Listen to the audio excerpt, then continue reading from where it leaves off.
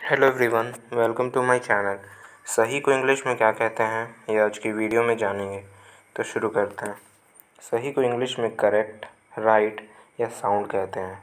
Correct right या sound एक example से समझते हैं इसे।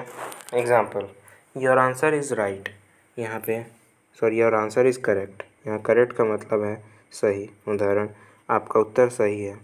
इसी के साथ आज के वीडियो में इतना ही। Thank you so much for watching my videos.